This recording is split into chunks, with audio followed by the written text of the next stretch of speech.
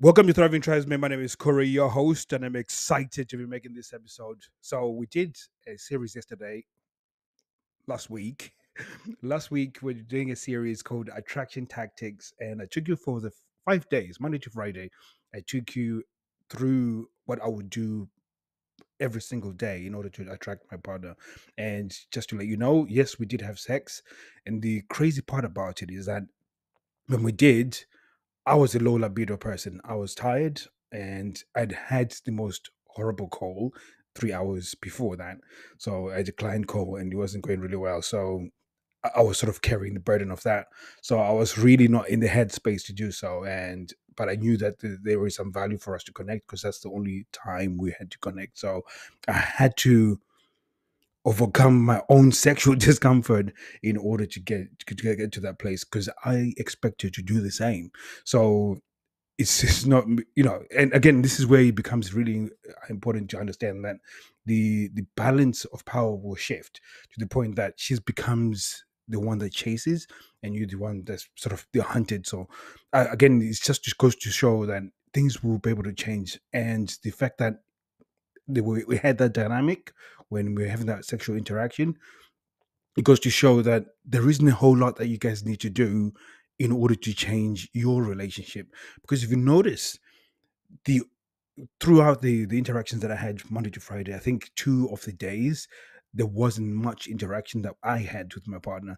But the ones that i did have or at least the ones that i thought were very significant were very significant were the ones on monday where she she took a disrespectful tone and i was not going to allow her to speak to me in that sort of tone which was boundary setting now when you do so it does build trust. A lot of you guys don't address disrespect because you feel like maybe it's going to cause even more of an argument. And then what tends to happen is that she sees you cower or at least acquiesce. So she sees you acquiesce, when when she speaks to you in a disrespectful way, and then all of a sudden in her mind she just thinks she's won, but subconsciously she goes, "Holy shit, this guy crumbles when he's under pressure." how can I trust this guy? And her anxiety levels will go up, her stress levels will go up, and then she's she cannot settle, she cannot chill. So when you can give her that boundary and say, dude, fucking hell, dude, you cannot speak to me like that. I don't expect you to speak to me like that. I, I will never speak to you like that. Chill the fuck up, you know. So I mean, I didn't put in those words, but I'm trying to exaggerate for effect. That you have to set that boundary when you do, it might cause even more friction, which you should be willing to take on. And when you do, what then tends what tends to happen is that, or on on a superficial level, she's like, "Oh fuck, this guy is really annoying," but on subconscious level, she's thinking, "Yeah, that's exactly the guy I want. Under pressure, you're willing to stand for something." So he needs to see that evidence that you can stand for something. So that was incredibly powerful for the rest of the interaction because it it set the tone of the week for example so and i always talk about setting the tone as in if you're playing an american football game your first tackle is going to be the most incredible it has to be the most vicious and the most crazy tackle my, my rugby co- coach told me this he used to say Kuri the first tackle has to be the most vicious the most he, he has to feel his ancestors that's an african term he has to feel his ancestors have to feel it and so and it was incredible. So you could see that the first tackle, once you hit him hard, he doesn't want to play that game anymore. So again, and that's not what I'm saying. So don't tackle your wives, but you just it's just an example. Anyways, so it set the tone for the week, and the other interactions that we had. Again, while I was doing addressing that boundary, then the other important point was that I kept a neutral state. So I didn't get angry or neither did I get up, you know, um, like I just kept it neutral. So I was just not phased by the whole situation that was happening. And you'll see that there was a theme across all the interactions that I had. So even when we did have good interactions where she was chasing or when we were playful, I wasn't getting overly excited about the whole situation, which is another thing that we addressed as well. And then this second negative interaction that we had, which was important, was an outside external factor. So she's outside, she's doing something at work, and then she had a, a weird conversation with the with the boss. Which then affected her state, which then she brought to the house, and that was now beginning to interfere with our the peace of the house. So again, I had to address that, but again, I didn't address it with uh, me getting angry or me.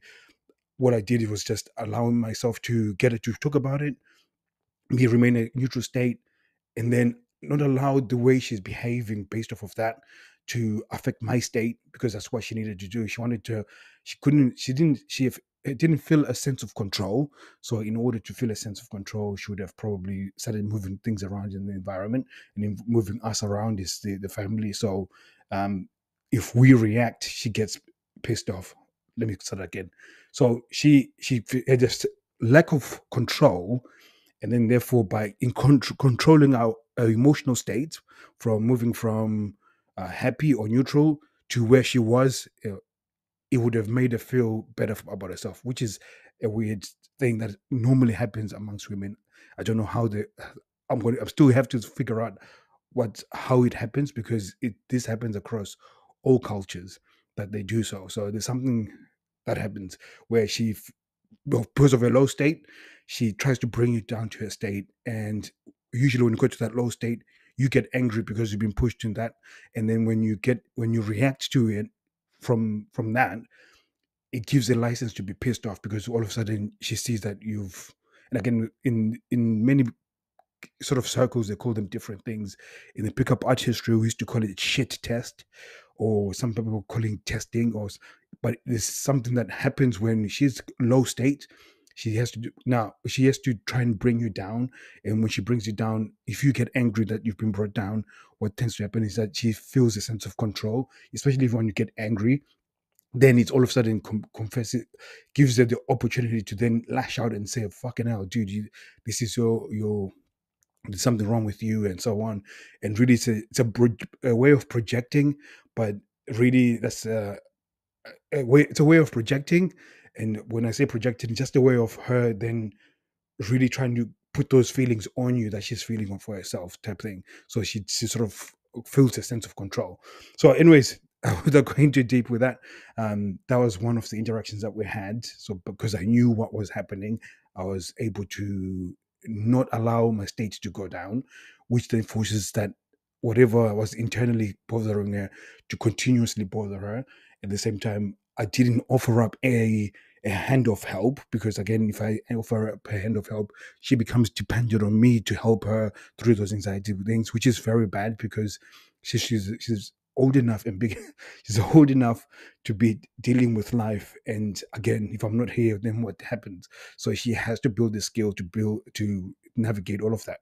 So again i didn't do anything but what i did was be supportive if she needed me to and also offered up any you know point if she needs me to make a decision upon something then i'll make a decision for her.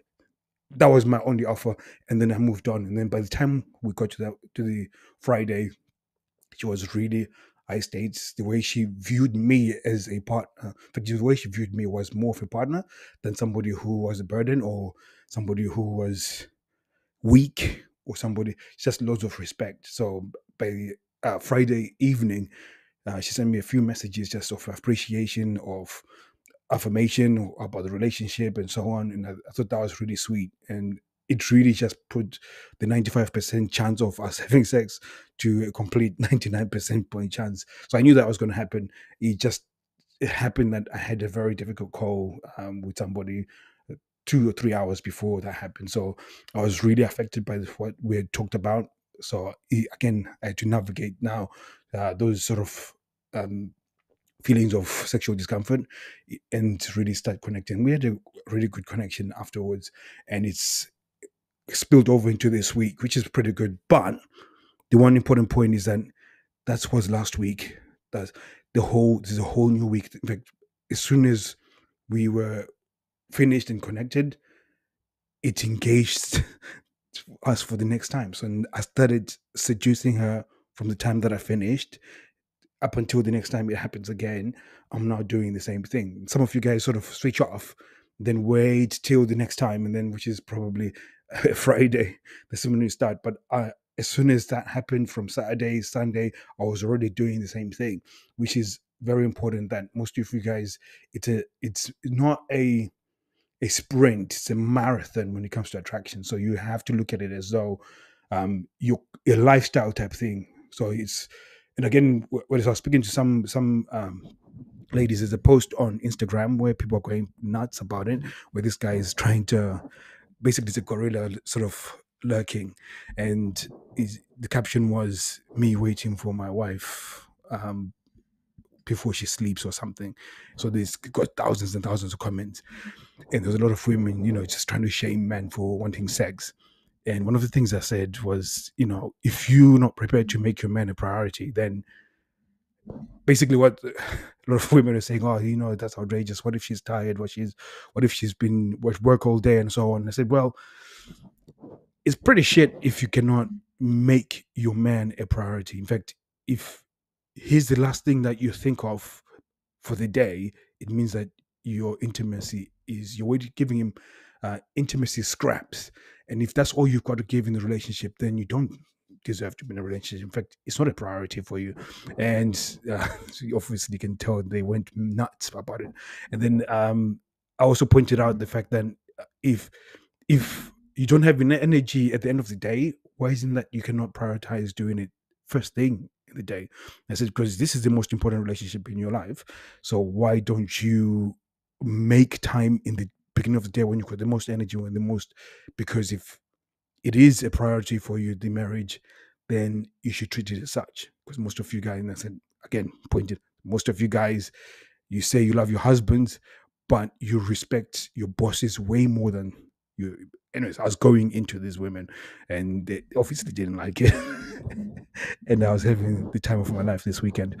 But I've said all of that to say that a lot of you guys, your women are just do not have that right balance when it comes to priority. And some of it is just you guys, you have to point that out. When you have that conversation, a lot of you guys you put you point out at the fact that there's lack of sex and how it makes you feel. It induces feelings of empathy or anger or frustration inside of her, which doesn't deal with the issue. But when you talk about energy expenditure and priorities and where you are going as a couple and seeing that you're below par, it changes the interaction to something where you can start building on, onto it. So again, thank you very much, guys. Uh, I'm not going to go any further with this. I think I've uh, given you enough to really consider some of, in fact, how, what you're going to be doing for the rest of the week and how you're going to approach your relationship this rest of this week. So really excited to have made this episode. Hopefully, you guys had a really good weekend, and we're going to make more great weekends as you guys follow up on this podcast. And we got some really cool things that are coming up. Um, the main one this week is a coaching session, or at least a, a lesson that is called uh, tangible. It's about tangibles and intangibles. So it's about how do you build that system in your relationship, a thriving system that makes it so much that your partner prioritizes you like you become the priority within the relationship. And that's the thing that i've been working on the past few weeks. Wrote some notes taught some of the guys in reignited men and they absolutely love it because it it gives a structure to you know how to create priority and how to really reveal that to your partner in a way that then makes a want to build onto the relationship. So at least it gives you an idea of how to break it down, but at the same time, it also gives you a, a way of identifying where your system is failing, and then also a way of repairing that. So that I um, I like that because I've been implementing it in my own relationship. When I spoke to my wife, she was in, initially resisting what I was saying, but then as I broke it down to her, she's like, actually makes sense because um, uh, the the the truth of the matter is that a lot of you guys have got young children and your your hours where you can be available within that relationship for each other is probably four to six hours so it's less than an hour a day. And you have to have a, a, way of maxi- maximizing that time that you've got. So again this is becomes important to actually see it as such because uh, if you think about time and energy expenditure then uh, if you don't take that into account in terms of changing your sexless relationship, you will never change your sexless relationship. So thank you very much, guys. I'm looking forward to be teaching that uh, within the community. There'll be the full lesson. I will break down some of the key concepts within the podcast. So, guys, thank you very much. I'll be seeing you guys soon. Take care.